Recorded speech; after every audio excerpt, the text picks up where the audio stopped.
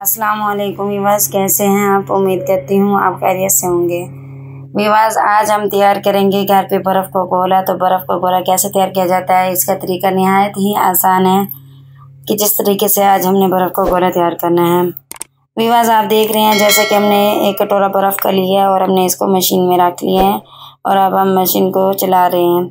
जैसे ही हम मशीन को चलाते हैं तो बर्फ़ के टुकड़े से बन गए हैं। अब हमने इसमें से बाकी के टुकड़े एक साइड पर रख देने हैं और एक टुकड़ा हमने ले लेना है बर्फ़ का और हमने इसको बारीक पीस लेना है, यानी कि इस मशीन में हमने इसको ग्राइंड कर लेना है।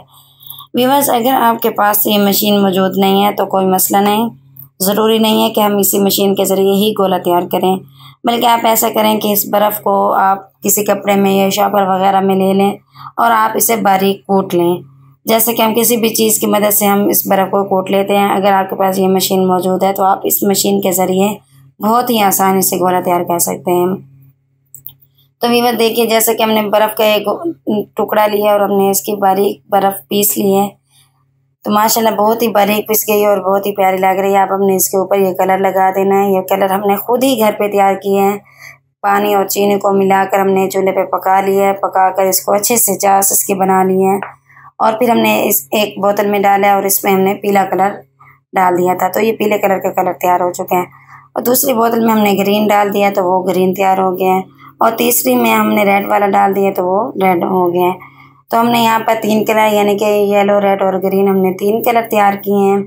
और ये तैयार करने का तरीका बहुत ही आसान है कि आप पानी और चीनी को पका लें अच्छे से और तीन बोतलों में वो शरबत डालकर आपने उसमें मुख्तलिफ़ कलर डाल देने हैं। तो ये तीन किस्म के कलर हमारे पास तैयार हो चुके हैं। और आपने मीठा ज़्यादा डालना है क्योंकि ये जितने ज़्यादा मीठे होंगे, उतने ही मज़े का हमारा गोला तैयार होगा। तो माशाल्लाह बस देखिए हमारा मज़े का आज का गोला तैयार हो चुका है। तो ये तरीका बहुत ही आसान है। आपने भी ये तरीका ज़रूर आजमाना है इनशाला आपको ये तरीका बहुत ही पसंद आएगा।